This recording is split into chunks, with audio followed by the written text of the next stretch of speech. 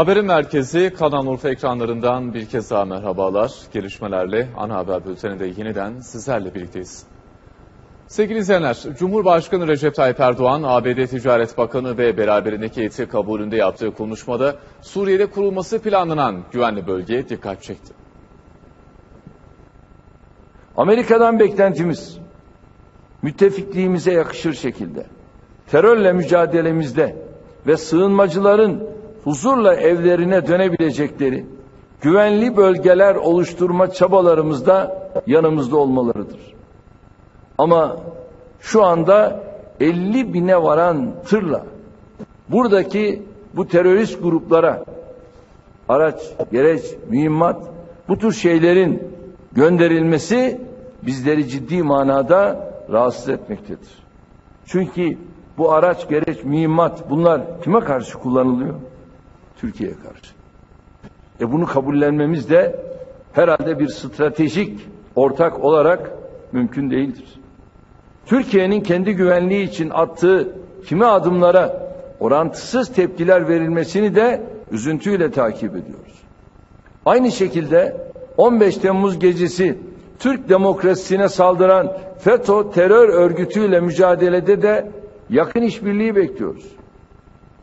Bu terör örgütünün başı şu anda Pensilvanya'da 400 dönümlük bir arazi içindeki bütün ekibiyle beraber orada yaşıyor ve oradan da dünyanın 160 ülkesini idare ediyor, yönlendiriyor. Suriye'nin kuzeyine kurulması planlanan güvenli bölge için Şanlıurfa'nın Akçakale ilçesinde oluşturulan müşterek harekat merkezinde görevli Türk ve ABD'li askeri yetkiler sınır hattında incelemelerde bulundu.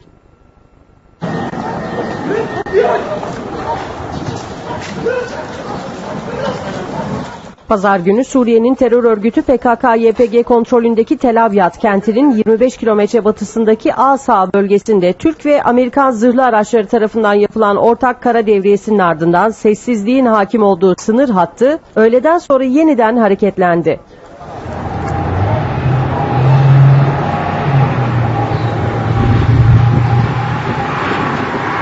Türk ve Amerikalı askeri yetkililerin bulunduğu 5 zırhlı araç sınır hattına geldi. Zırhlı araçlardaki iki ülke askeri yetkilileri Tel Abyad sınır hattından batı yönündeki Aynel Arap bölgesine doğru ilerledi.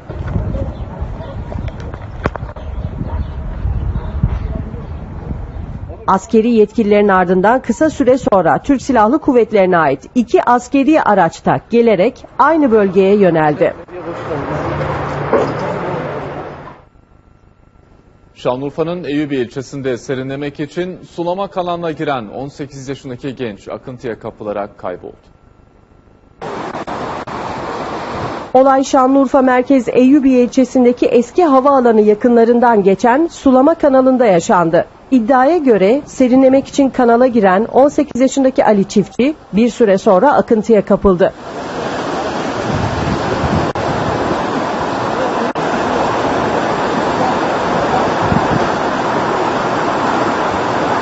Çevredekilerin ihbarı üzerine olay yerine gelen sualtı polis ekipleri bölgede arama kurtarma çalışması başlattı.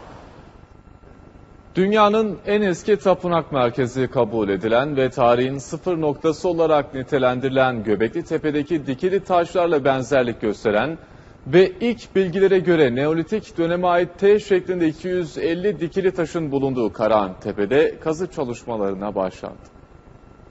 Burada şu ana kadar gördüğümüz kalıntılar hem müzeyde hem de yaptığımız kazılarda günümüzden yaklaşık olarak 11 bin 11.500 yıl öncesine ait e, kalıntıların olduğunu, bir e, yerleşmenin olduğunu kanıtlıyor.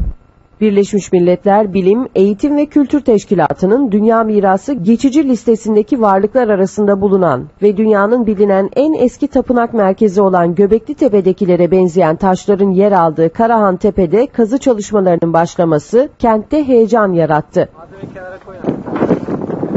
Her gün yerli ve yabancı turistlerin ziyaret ettiği Göbekli Tepe'ye alternatif olan Karahan Tepe'de T şeklindeki 250 dikili taşın toprak altından gün yüzüne çıkarılması heyecanla bekleniyor. Şanlıurfa'da kültür envanterinin tespiti için başlatılan çalışmalar sırasında kent merkezine 46 kilometre mesafedeki Tek Tek Dağları Milli Parkı içindeki Kargalı Mahallesi yakınlarında araştırmacılar tarafından 1997 yılında yapılan yüzey çalışmasında Karahan Tepe'deki toprak altında bulunan yapılar fark edildi. Bölge halkınca Keçili Tepe olarak da bilinen alanda Kültür ve Turizm Bakanlığı'nın himayesinde İstanbul Üniversitesi Tarih Öncesi Arkeolojisi Anabilim Dalı ve Karahantepe Kazı Başkanı Profesör Doktor Necmi Karul Başkanlığında 2 yıl önce Göbekli Tepe Kültürü ve Karahantepe Kazıları projesi kapsamında yüzey araştırma çalışması başlatıldı. Bu araştırmalarda UNESCO Dünya Mirası listesinde yer alan Göbekli Tepe'deki yapılara benzeyen ve ilk belirlemelere göre Neolitik döneme ait T biçiminde 250'nin üzerinde dikili taş tespit edildi.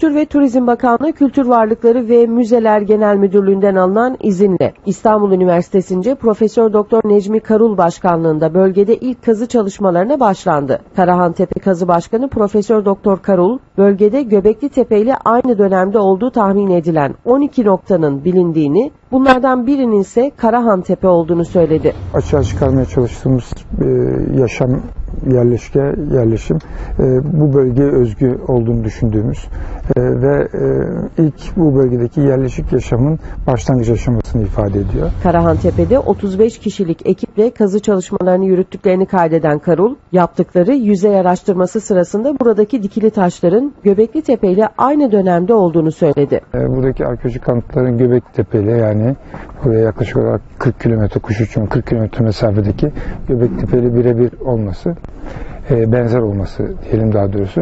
E, burada uzun vadede kazıların yanı sıra alanın bir e, gezilebilecek bir yer olarak düzenlenmesini de şimdiden planların içerisine dahil etme e, akla getiriyor.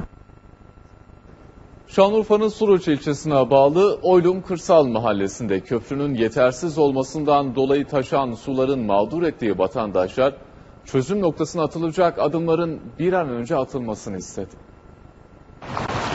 Şanlıurfa'nın Suriye ilçesine bağlı Aşağı Ölüm Köyü köprüsü.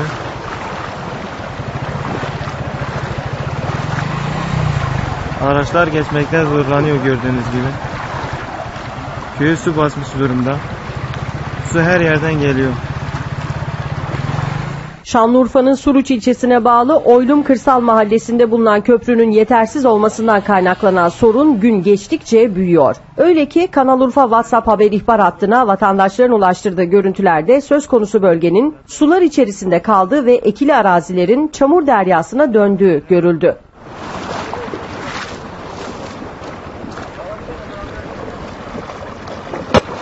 Kırsal mahalleye giriş ve çıkışlarda mecburen bu güzergahı kullanmak zorunda olduklarını ve araçların taşan sular nedeniyle zorlandığını aktaran vatandaşlar, Kanal Urfa WhatsApp haber ihbar hattına gönderdikleri videonun gündeme gelmesiyle yaşadıkları sorunun çözümünün hızlanacağı düşüncesinde.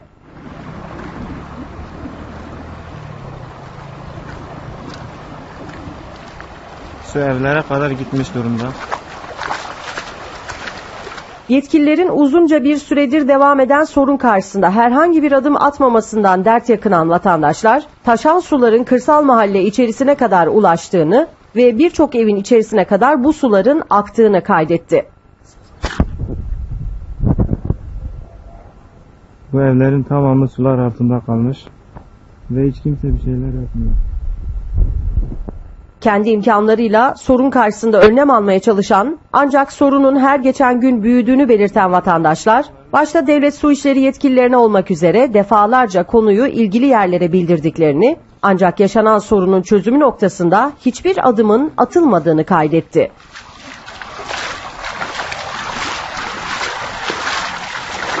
Görüyorsunuz köprü yetersiz olduğu için bütün sular taşıyor. Pamuğa kadar gitmiş durumda su. Irak'ta gerçekleşen aşure günü etkinliklerinde bir kaldırımın çökmesi sonucu en az 31 kişinin hayatını kaybettiği, yüzden fazla kişinin de yaralandığı belirtildi. Irak Sağlık Bakanlığı bir yaya yolunun çökmesi üzerine en az 31 kişinin öldüğünü duyurdu. Bakanlığın verdiği bilgiye göre yüzden fazla yaralı hastanelere taşınıyor. Şiiler için kutsal olan Kerbela'da bugünkü törenlere binlerce hacı katılıyordu. Yaşamını yitirenler arasında hacıların olup olmadığı henüz bilinmiyor. Aşure günü etkinliklerinde Kerbela'da Hazreti Hüseyin ve beraberindekilerin şehit edilişi anılıyor. Tarihe Kerbela vakası şeklinde geçen olay Emevi devletinin ilk halifesi Muaviye bin Ebu Süfyan'ın ölümünden sonra yerine geçen oğlu Yezid'in Hazreti Muhammed'in torunu Hazreti Hüseyin'den kendisine biat etmesini istemesiyle başladı. İslam'da saltanatın olmadığı gerekçesiyle buna karşı çıkan Hazreti Hüseyin ve beraberindekiler 10 Ekim 680'de bugünkü Irak sınırları içinde bulunan Kerbela şehrinde Yezid'in ordusu tarafından şehit edildi. İslam tarihinin önemli ve acı olaylarından biri olan Kerbela, Hicri takvime göre her sene Muharrem ayının 10'una rastlayan Aşure günü tüm Müslümanlar tarafından anılıyor. Gaziantep'te komşu aileler arasında araç park yeri nedeniyle çıkan ve av tüfeklerinin kullanıldığı kavgada 3 kişi hayatını kaybetti, 5 kişi de yaralandı. Olay akşam saatlerinde Gaziantep'in 75. yıl mahallesinde meydana geldi. İddiaya göre komşu iki aile arasında araç park yeri nedeniyle tartışma yaşandı. Aileler arasında aynı nedenle başlayan tartışma tarafların yakınlarının da dahil olmasıyla büyüyerek av tüfeklerinin kullanıldığı silahlı kavgaya dönüştü.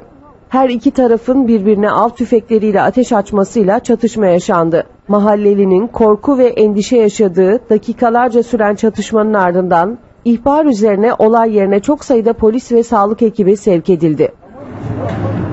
Olay yerine gelen polis ekipleri çevre güvenliğini sağlarken Sağlık ekipleri ise çatışmada yaralanan Cengiz Demir, Ayvaz Demir, Mehmet Korkmaz, Leyla Korkmaz, Metin Korkmaz, Faik Korkmaz, Hüseyin Yıldız ve Adem Yıldız'a ilk müdahaleyi yaptı.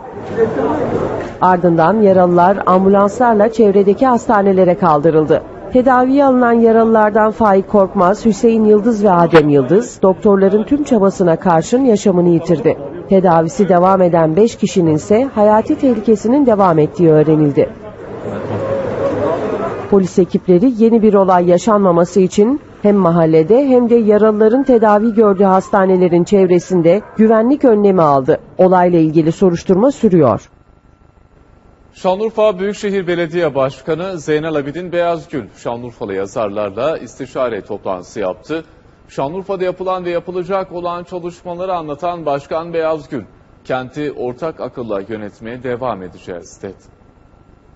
Şunu ifade etmek istiyorum, bu toplantılar devam edecek. Yine Urfa daha güzel tanınsın istiyoruz. Urfa'ya katkısı olsun istiyoruz.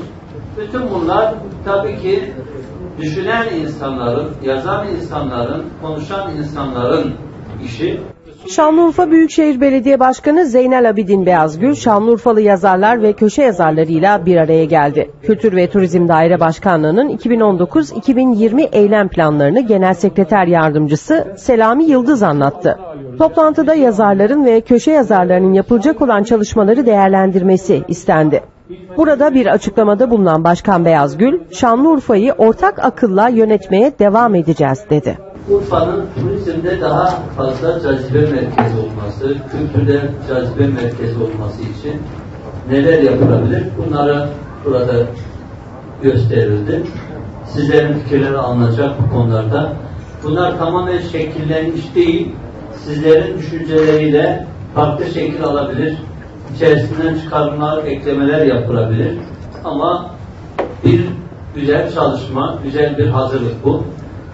Önümüzde Urfa Lezzetleri ve Stot Festivali olarak ismini koyduğu, koyduğumuz bir çalışma var ama yine bu da sizin görüşlerinize, önerinize sunulacak. Hem isim olarak hem de içerik olarak böyle olacak.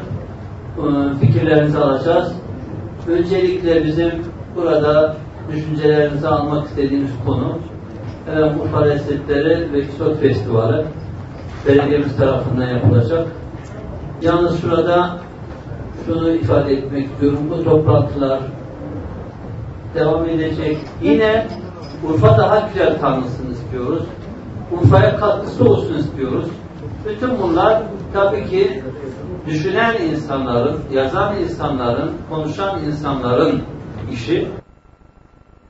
Şanlıurfa'nın Suruç ilçesinde akrebin soktuğu 2 yaşındaki bebek hayatını kaybetti.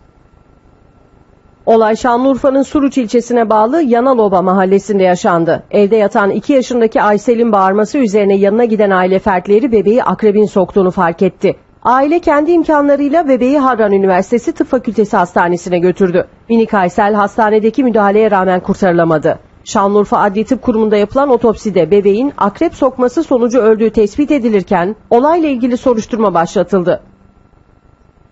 Sevgili izleyenler, başrollerini Şener Şen ve İlyas Salman'ın paylaştığı Banker Bilo filmindeki kamyonda kaçak mülteci taşınan sahne Adana'da bir kez daha tekrarlandı. Afganistan ve Pakistan uyruklu 61 kişiyi taşıyan sürücü polislere kamyonda küçükbaş hayvan yüklü olduğunu söyledi. Olay Tarsus Adana Gaziantep otoyolunda meydana geldi. Otoyolda uygulama yapan polisler üzeri brandayla kaplı kamyonu durdurdu. Şoför Mehmet G ve yanında bulunan kişinin çelişkili ifadeleri üzerine polis kamyonda ne olduğunu sordu. Kamyonda küçükbaş hayvan yüklü olduğunu söyleyen Mehmet G'ye inanmayan polisler brandayı açtığında içeride çok sayıda mülteci olduğunu gördü. Kamyon kasasına bindirilen Afganistan ve Pakistan uyruklu 61 mültecinin ülkeye Van'dan giriş yaptığını, 10 gündür yolda olduklarını söyledi. Duydun beni? Herkese söyle evrağını hazırlasın.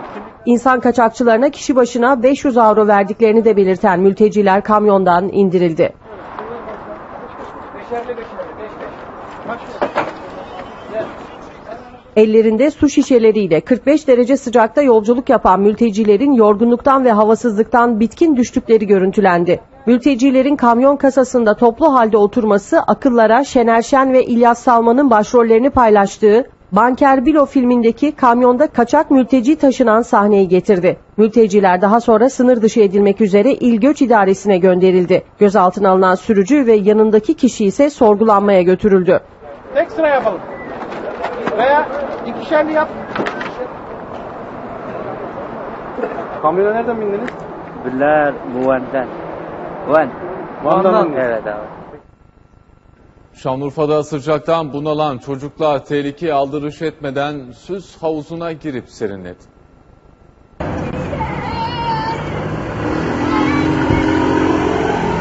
Şanlıurfa'da mevsim sıcaklıkları son günlerde etkisini göstermeyi sürdürüyor. Sıcak ve nemli havadan bunalan çocuklar tehlikeli olmasına aldırış etmeden süs havuzlarına girerek serinledi.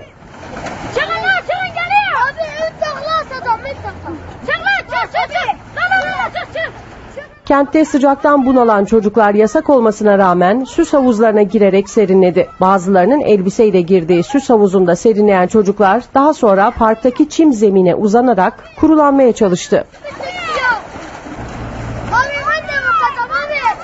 Suda birbiriyle oynayan çocuklar havanın sıcak, suyun da pis olduğunu belirterek serinlemenin keyfini yaşadı. Havuz kenarında bulunan elektrik panosuna çıkarak havuza atladı. Bu sabır. Abi abi abi abi. Abi abi burası çok sıcaktı. Biz de geldik havuza girdik. Serinlik işte böyle. Lan nedir abi? Sıcak ya ölüyorum. Sen abi abi. Abi hava sıcak diye geldik yüzme Abi, abi sıcak değil. Sen ne oluyor? Abi Şanlıurfa sıcak. Ee, e, sıcaktır diye biz de bu havuza geldik. Abi, biz de havuza geldik. Abi, abi, abi, abi, sıcak pistir. Ramazan ve Kurban bayramlarını ülkelerinde geçiren Suriyelilerden 37 bini Kilis Öncü Pınar sınır kapısı üzerinden Türkiye'ye geri döndü. Ramazan Bayramı için 17-31 Mayıs 2019 tarihiyle Kurban Bayramı için 22 Temmuz 9 Ağustos 2019 tarihleri arasında Kilis Valiliği'nin izniyle bayram için giden 60 bini aşkın Suriyelinin dönüşleri sürüyor. Ramazan ve Kurban bayramlarında ülkelerine giden Suriyelilerden 37 bini Türkiye'ye geldi. Ezaza gittim Suriye'de. Böyle akrabam var geldim e. Sonra Türkiye'den geldim. Ee, icazet verdiler çok güzel. Beğendik bayram icazeti. Çok güzel. Memnun olduk biz Suriyeliler hepimiz. Suriyelilerin dönüşünün Ramazan Bayramı için gidenlerin 1 Ekim, Kurban Bayramı için gidenlerin ise 31 Aralık 2019 tarihine kadar süreceği bildirildi. Çevik Kuvvet Köprülü Kavşağı'nda Şanlıurfa Diyarbakır istikametinin trafiğe açılması için ekiplerin çalışmaları sürüyor.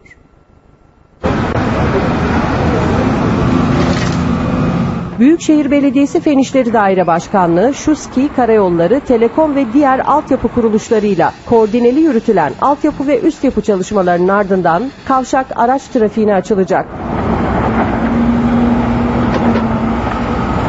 Kavşağın hizmeti açılmasının ardından kış aylarında yaşanacak su birikintilerinin önüne geçmek için bölgede eksikliği hissedilen yağmur drenaj şebekesini güçlendiren Büyükşehir Belediyesi, diğer yandansa yarma ve dolgu işine devam ediyor. Çevik Kuvvet Köprülü Kavşağı ile Narlıdere Köprülü Kavşağı arasındaki alanın altyapısını güçlendiren Büyükşehir Belediyesi öte yandan sıcak asfalt serimini de sürdürüyor.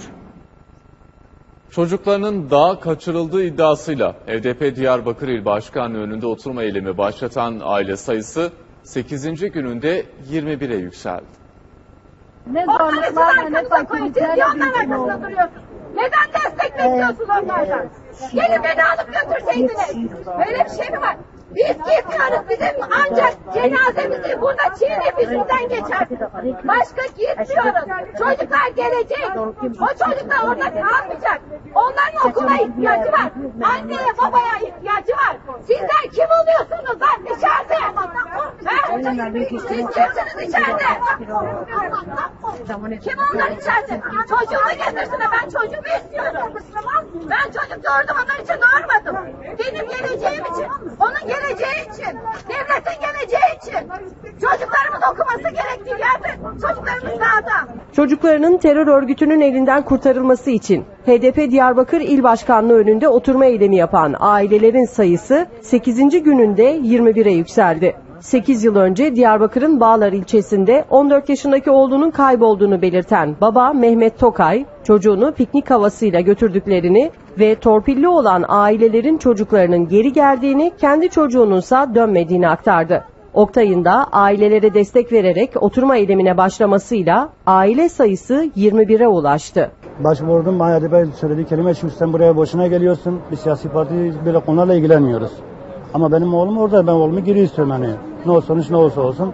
Oğlumun orada ölmesi terörist olmasını istemiyorum. Şanlıurfa'nın Haliliye ilçesinde zabıta ekipleri ilçede sorumluluk sahalarında bulunan okul kantinlerini denetleyerek işletmecileri sağlık ve hijyen konusunda uyardı.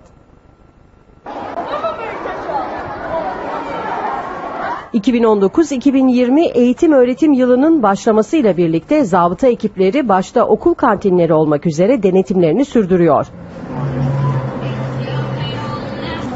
Hijyen, iş yeri açma, çalışma ruhsatı, gıda maddesi ürünlerinin hazırlanması, çalışma ortamı gibi durumları denetleyen ekipler, okul kantinlerinde hazırlanarak satılan tost, sandviç gibi bozulabilecek gıda maddelerinin ve son kullanım tarihi geçmiş ürünlerin satılması sonucu çıkabilecek sağlık sorunlarına karşı işletmecileri uyardı.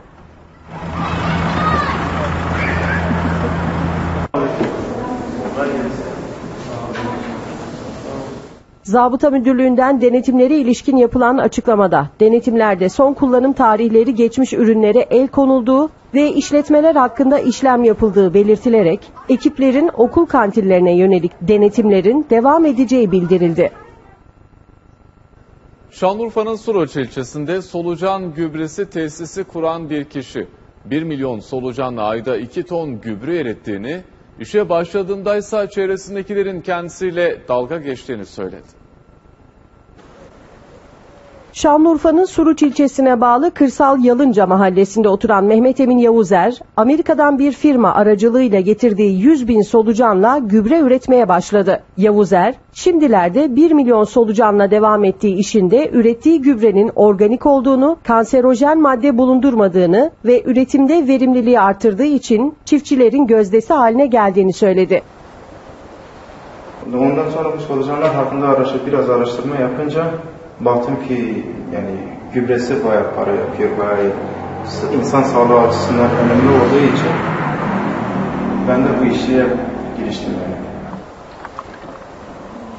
Solucan gübresini yetiştirmeye başlamasıyla birlikte işlerinin açıldığını ve tesisi daha da büyütmek için çalışmalara başladığını kaydeden Yavuzer, solucan gübresinin hem organik hem de insan sağlığını tehdit eden kanserojen madde barındırmadığını, bu sebeplerle üretiminin ve kullanımının rağbet gördüğünü dile getirdi. İşe başlarken ekonomik sıkıntılar yaşadığını, çevresinden borç para toplayarak başladığını söyleyen Yavuzer, insanların kendisiyle dalga geçtiğini ancak şimdi ise talebe yetişmekte zorlandığını kaydetti. Hatta devam da ediyor. Yani dalga geçiyorlar, şey yapıyorlar. İşte e, solucan ne ki gübresi ne olsun diye. Manevi olarak da böyle de. O gün bana telefon açtı dedi yaklaşık bir 8 ton seneye bana hazırla dedi. Yani rağbet öyle.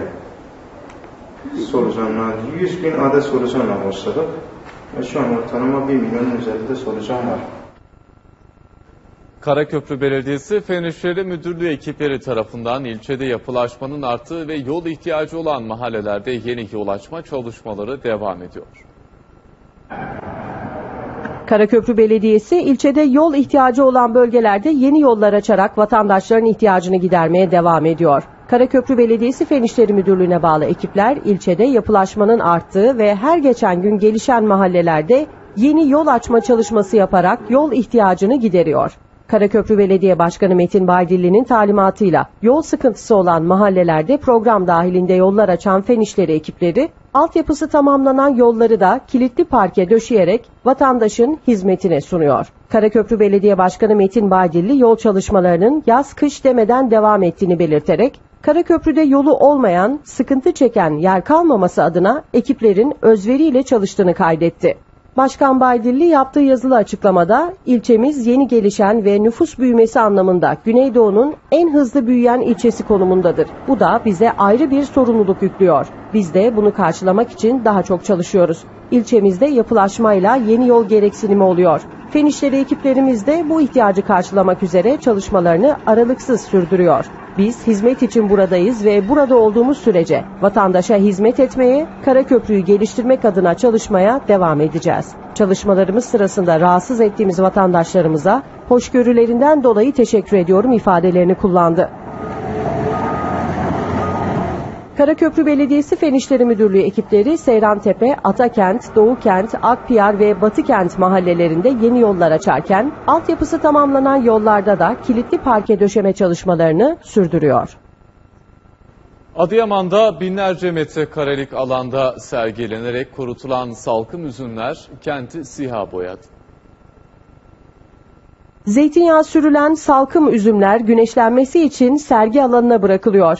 Bir haftayla 10 gün arasında güneşte bekletilen salkım üzümler daha sonra toplanarak Türkiye'nin çeşitli illerine gönderiliyor. Binlerce dönüm arazide kurutulan İslahiye Karası ismi verilen üzümler diğer tane üzümlerden daha az ilaçlanıyor.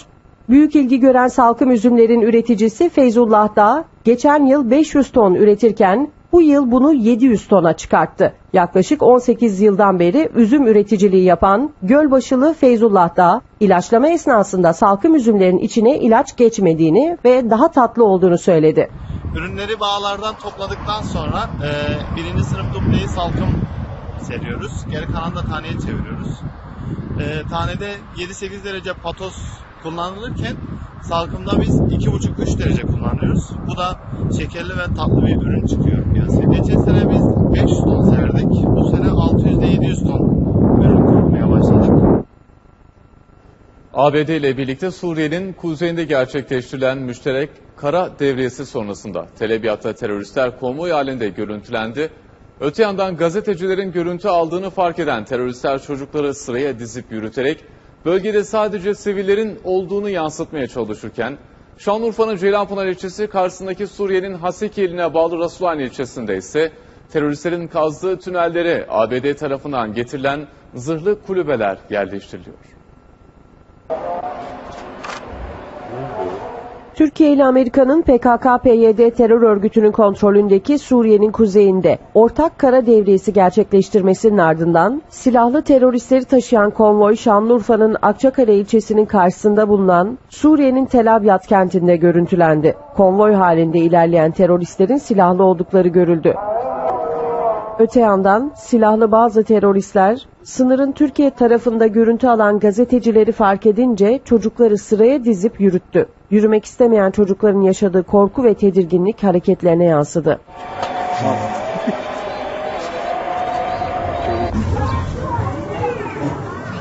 Şanlıurfa'nın Ceylanpınar ilçesi karşısında bulunan Suriye'nin Haseke iline bağlı Resulayn ilçesinde teröristlerin kazdığı tünellere Amerika tarafından getirilen zırhlı kulübeler yerleştiriliyor.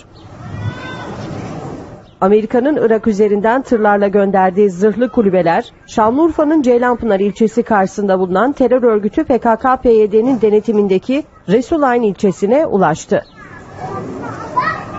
Kepçe yardımıyla kazılan tünel ve hendeklere bu zırhlı kulübeler yerleştiriliyor.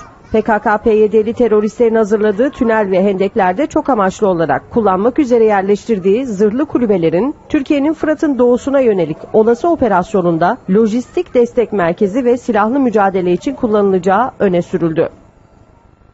Haliliye Belediyesi yaklaşan kış ayları öncesi ilçe merkezi ve kırsalda yol yapım çalışmalarına devam ediyor.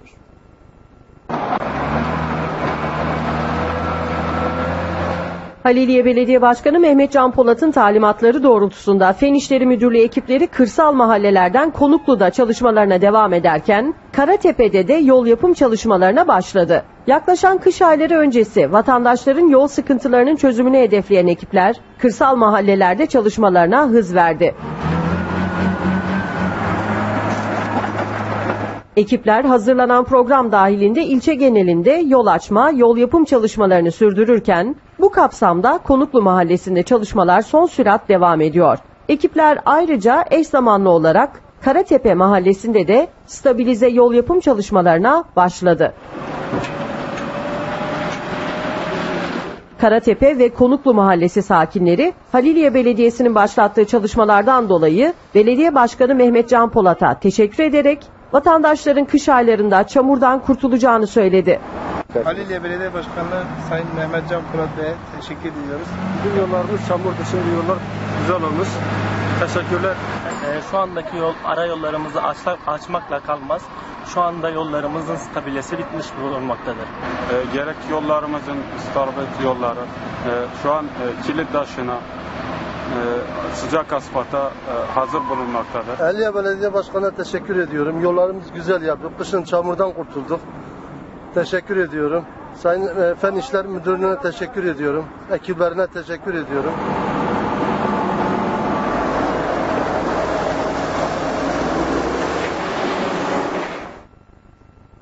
Bu haberle birlikte haber bültenimizi noktalayalım sevgili izleyenler. Yeniden karşınızda olmak dileğiyle. Hoşçakalın.